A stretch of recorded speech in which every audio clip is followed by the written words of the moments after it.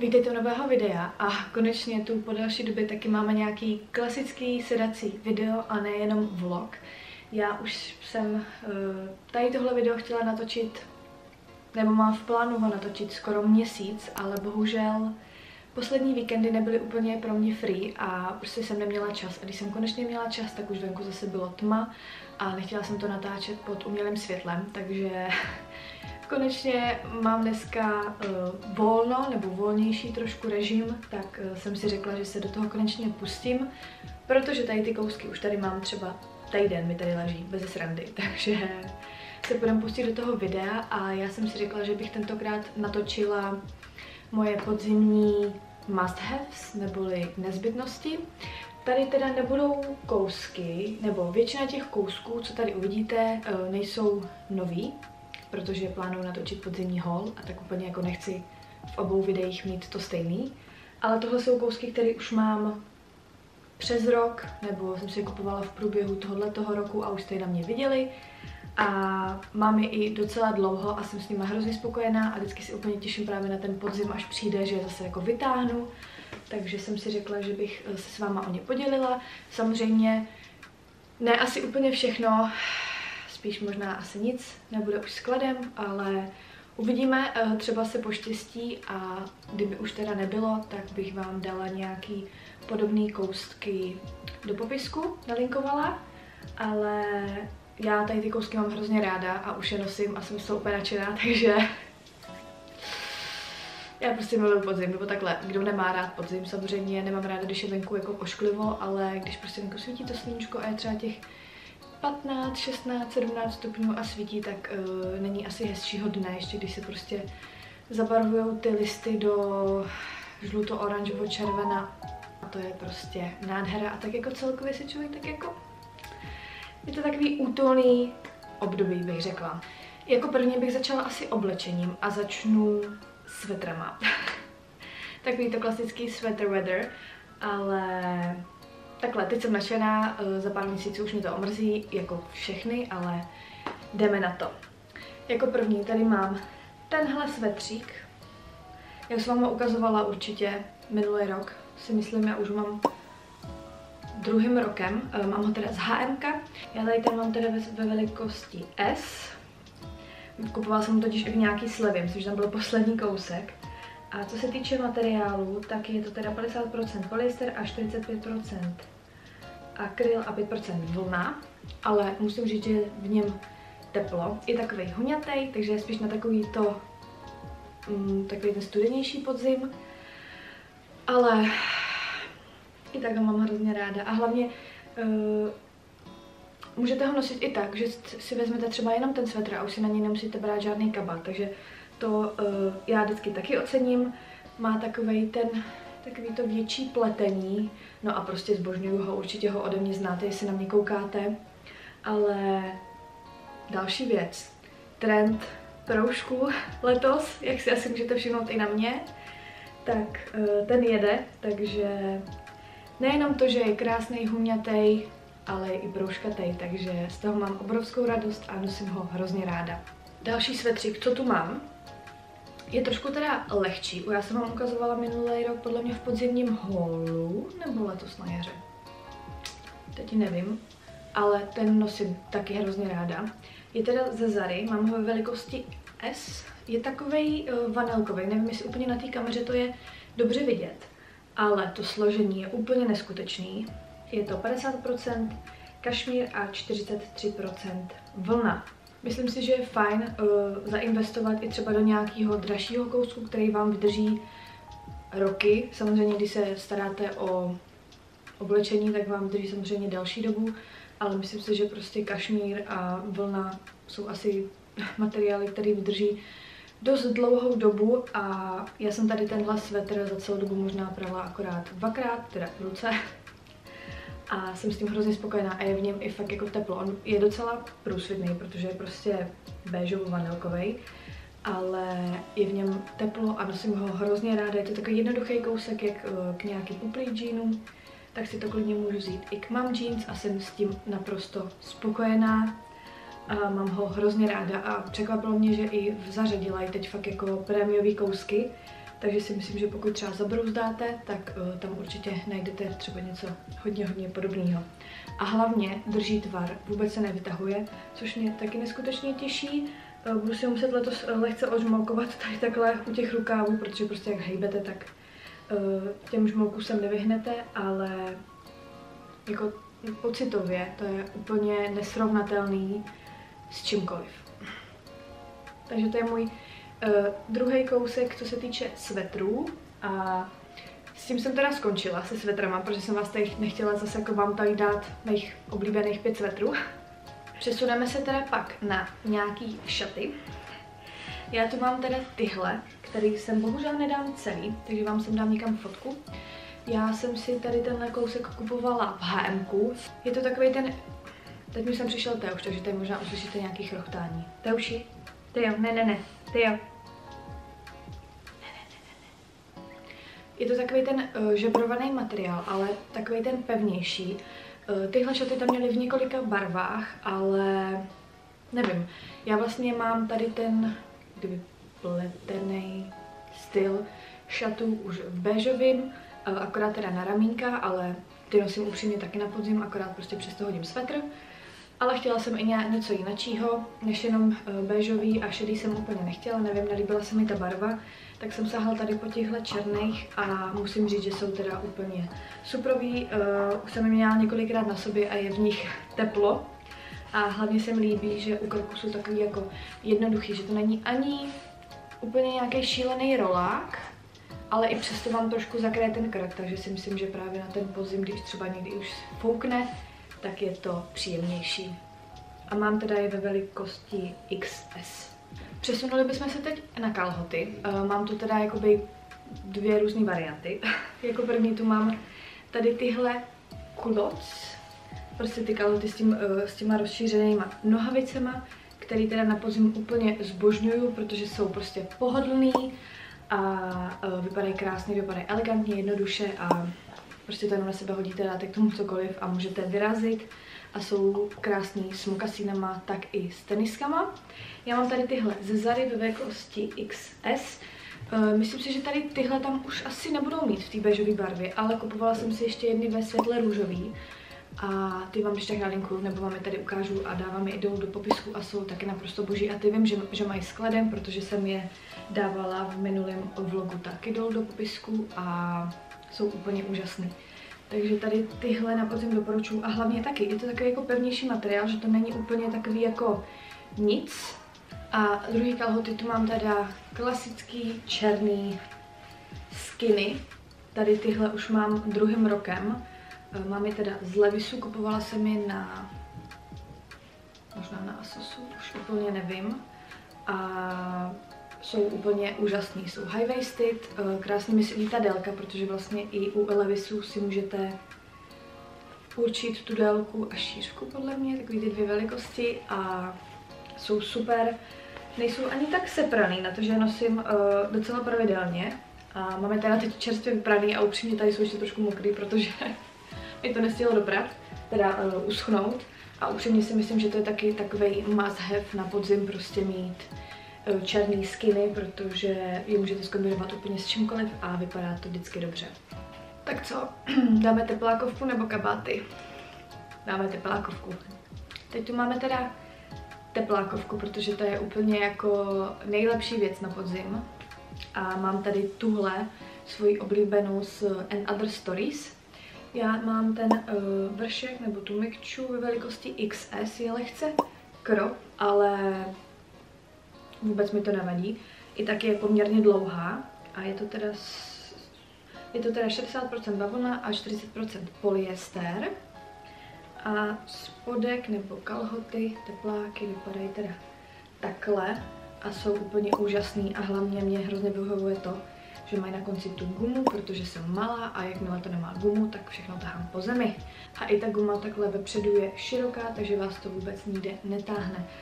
Nosím ji furt, eh, jestli sledujete moje vlogy, takže je fakt úžasná. A myslím si, že ji mají pořád na And Other Stories, nebo mají hodně, hodně podobnou barvu. Dokonce teď myslím, že i možná v nějakým výprodeji. Ale já prostě, já, vy to víte, já miluju teplákovky, prostě fakt jako jediný, jeden z mých nejoblíbenějších kousků celoročně je teplákovka, takže Přesuneme se teda na svrchní díly, neboli na prostě nějaký kabátky podzimní a asi jako největší klasika je trenchcoat. Já mám tady ten dlouhý z About You.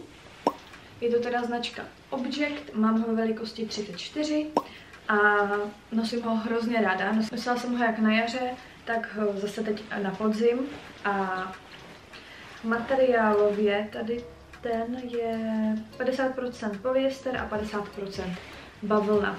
Je takovej chutnej, je v něm teplo. Eh, ta barva se mi hrozně líbí, že je fakt taková jako typická trenchcoat. Já mám teda u trenchcoatu i takovou tu jejich kratší variantu a tu mám podle mě z, z Zary, dětský Zary, takže to už určitě skladem nebude, ale zkusím vám ještě nalinkovat nějakou podobnou variantu. A myslím si, že mít jako trenchcoat, to je prostě fakt jako klasika, která nikdy nevíde z módy, takže to budu mít v šatníku dalších x let. A tady ta barva je fakt taková úplně ideální. No a tady ten kabát. Ten na mě taky můžete vidět často. Zbožňuju. E, není to úplně jakoby teplý kabát na zimu, bych řekla, ale když potom dáte teplý svetr, tak to můžete nosit i v zimě protože uh, tam není udělaná žádná jako počívka, prostě je to jenom kus látky, nebo prostě to není nějak jako počitý zevnitř. A já jsem si ho teda nechávala i zpravovat u švadlenky, protože mi byl hodně, hodně takový oversize, až že to vypadalo na mě jako pytel brambor, ale mně se hrozně líbil uh, ta kostka. Takže jsem uh, zainvestovala s tím, že jsem prostě si zašla ke švadlence, která mi vlastně tady udělala takové prsní záševky, uh, a ještě vzadu mi udělala záševky a teď mi nádherně sedí a taky ho můžete na mě vidět velice často i na nějakých fotkách na Instagramu nebo prostě ve vlogu. Je dlouhý, má obrovský kapsy, z, z čeho jsem úplně nadšená, protože já jsem prostě kapsový typ a pokud něco nemá kapsy, tak jsem z toho docela špatná. A uh, nemám asi k tomu víc co dodat. Upřímně, já jsem ho asi kupovala na Vinted nebo někde, nějaká značka Simple, vůbec netuším, ale mám ho ve velikosti S. Zkusím vám ještě tak najít nějaký hodně podobný a jsem s tím naprosto spokojená a tady takhle musím vykládět hlavu kvůli tomu, protože je fakt jako velký. Takže, no, prostě nejvíc spoko. Co se týče nějakého oblečení, to by bylo asi úplně všechno. A přesuneme se teda na boty. Začneme zase největší klasikou, která ale není úplně tak jako, já nechci říct vhodná, ale úplně nejvíc funkční a to jsou teda bílé tenisky. Uh, já jsem si teda objednala nový bílé tenisky, protože jsem si letos žádný nekupovala a minulý rok podle mě na jaře a už bílé tenisky nevypadají, že jsou moc bílý. Tady tyhle už mám podle mě třetím rokem a už taky nejsou úplně nej, v nej, nejlepším stavu, takže vám je ukážu takhle uh, z dálky, ale nechtěla jsem vám tady ukazovat ty nové. Vzhledem tomu, že to uvidíte v podzimním holu, ale tady tyhle mám teda z HMK, jsou neskutečně pohodlný, stály pár set korun a říkám, mám je třetím rokem a i tak, přestože už nejsou bílí, tak jsem s nimi furt uh, spokojená, protože prostě jenom nazuju, vydržím v nich celý den a splňují svůj účel. Takže bílé tenisky za mě určitě uh, nezbytnost na podzim. Pak mokasíny. Tady tyhle mám z HMK, ty jsem si kupovala minulý rok. A máme teda ve velikosti 37. Jsou podle mě taková největší klasika, co se týče mokasínů. Teď je trend mít takový ty na tom chunk, uh, jakoby na tom vyšším podpadku nebo prostě na té platformě. Uh, mně se to upřímně líbí na ostatních, ale mě to prostě nesluší, jak jsem drobná, mám docela malou nohu, tak jako mít nějakou obřivotu je takový dost... Uh, vypadá to, že jsem se jako spletla s tím, co jsem si obula, takže já zůstávám u prostě klasiky, ale líbí se mi ten trend těch chunky boots, ale bohužel ne pro není to úplně pro každýho. Pak vám teda asi ukážu svoje největší lásky, o kterých vám básním po každý, když je mám na sobě. A to jsou tady ty šněrovací boty od značky Zigen. Eh, pořizovala jsem si je minulý rok a jsem hrozně ráda, že jsem tak udělala, protože je fakt nosím furt, teda kromě samozřejmě jako léta. ale uh, na jaře jsem je schopná nosit, když je venku trošku ještě hůř. Uh, v zimě furt nosím, na podzimě nosím. Jsem s nima fakt neskutečně spokojená. Jsou pohodlný, jsou takový jako jednoduchý, ale prostě něčím zajímavý a plánuju, že bych si letos chtěla koupit tenhle styl, ale ještě vyšší a bez tady těch jakoby cvočků, že to není vidět. Taky jsem je tam viděla od Zignu, ale říkala jsem si, že ještě počkám nějakou dobu, než pak bude venku jako větší zima. A prostě pokud chcete nějaký takovýhle šněrovací boty, tak fakt doporučuji přímo tady tyhle, protože jsou naprosto úžasný. A já mám velikost 37 a myslím si, že to je fakt jakoby true, true the size, protože kdybych si vzala 38 a dala si do nich tlustý ponožky, tak mi budou stejně velký a v těchhle můžu mít taky normálně tlustý ponožky a není to žádný problém. Teď přichází na řadu, nebo takhle. Jsou lidi, kteří tady ty boty úplně nesnáší a nemůžu je vystát, což je třeba Honza. a pak jsou tu lidi jako já a Lenka, který my tady ty boty milujeme. Uh, pro mě to není bota jenom na podzim a na zimu, ale prostě je to celoroční bota, protože já v tom chodím i večer s Teušem ven, jsem schopná jít v tom i ráno, je mi to úplně jedno. A jestli mě sledujete, tak víte, o kterých botách mluvím. Já jsem vám je dávala i v, prvním, v prvních vlogmasích, který jsem točila, do oblíbenců. A hrozně mě těší, že tady tyhle boty se staly letos trendem. a nejsem já taková ta divná, která je nosí. A jsou to tady tyhle válenky. Uh, já je mám teda od značky Axe, uh, mám ty mini, nemám ty ultra mini, protože já tyhle boty mám bez srandy třeba 6 let. Proto tak teda i vypadají, ale uh, musím si je letos nechat naimpregnovat, protože minulý rok byla krutá zima. A byla bych ráda, abych eh, letos si zase mohla úplně v klidu nosit i v zimě a eh, hned mi to nepromoklo. Ale já jsem s ním naprosto spokojená. to jsou normálně zlatíčka, ale to když vyšel ten trend a já úplně já to věděla, že se dočkám, že to bude zpátky, protože dřív byl trend takový ty vyšší ty válenky a teď prostě jsou ty teda ty ultra mini, ale ty se mi teda upřímně nelíbí. Já mám teda ty černý. Eh, dlouhou dobu jsem plánovala, jestli si nepořídím i ty hnědý, ale říkala jsem si, že když jsou tyhle furt ještě funkční, tak je asi zbytečný mít dvoje stejné boty, takže já mám tady ty černý a jsem hrozně ráda, že je to letos opět in. Co se týče nějakých doplňků, tak bych tu zmínila asi teda eh, dvoje brýle. Já jsem teda hodně brýlový typ a nemám úplně ráda zimu v tom smyslu, že je divný nosit brýle, ale nevadí. Ještě si to musíme v tom podzimu užít. Uh, jedny z mých asi nejnošenějších bílí jsou tady ty uh, od Ray-Banu, ty Club Mastery, tady v té klasické černozlatý, ty naprosto zbožňuju. Uh, myslím si, že je vydáte u mě docela často a přijde mi, že mi ten tvar sedí. A jsou takový jako jednoduchý a hodí se hlavně úplně ke všemu. Já už je mám druhým nebo třetím rokem a na to, že já jsem si vždycky kupovala... Co pak, Bobiku? Eh, na to, že já jsem si vždycky kupovala brýle v H&M, protože jsem se k ním nechovala úplně slušně, tak od té doby, co mám dražší brýle, tak opravdu nosím v každé kabelce nějaký pouzdro a fakt se o ně starám tak, aby mi vydrželi co nejdíl. A myslím si, že, já se omlouvám, ale ono vypadá, že venku za chvilku bude konec světa. A eh, že fakt jako vydrží, ta kvalita je vidět. Takže to jsou první brýle. A jako druhý brýle tu mám tady tyhle z And Other Stories. Eh, ty mám od minulého podzimu. Eh, jsou takový ty tortoise, eh, je to takový, zase mi to přijde docela klasický tvar. A ty nosím teda taky hodně pravidelně. Jestli na mě koukáte, tak určitě víte. A mám je taky hrozně ráda, jsou příjemný a jsou zase takový uh, něčím zvláštní, že nejsou úplně jako jednoduchý, nejsou jenom černý, ale mají nějaký lehký design na sobě, takže s nimi jsem taky moc spokojená. A mají je taky teda pořád uh, na And Other Stories. Pak tu mám teda pro vás dva laky na nechty. Mám tu teda od OPI uh, lak na nechty v odstínu Malaga Wine. Uh, ten jsem teda měla teď uh, dlouhou dobu na nechtech a bylo to moc hezký, ale už mě pak upřímně červená celá omrzela ale eh, krásně drží. Mě jediný teda, co nevyhovuje, je ten hrozně úzký štěteček, ale jinak drží krásně. To už tady teď chrápe v pelíšku, takže se omlouvám, jestli ho slyšíte. A jako druhý eh, lak na nechty tu mám od Essie um, v odstínu Wicked a je to taková hodně, hodně, hodně, hodně tmavá červená. Z dálky si řeknete, že to je prostě klasický černý lak. Hele, z dálky si řeknete, že to je klasický prostě černý lak na nechty a je teda krásný. Já teď momentálně uh, na sobě a jsem s tím hrozně spokojená.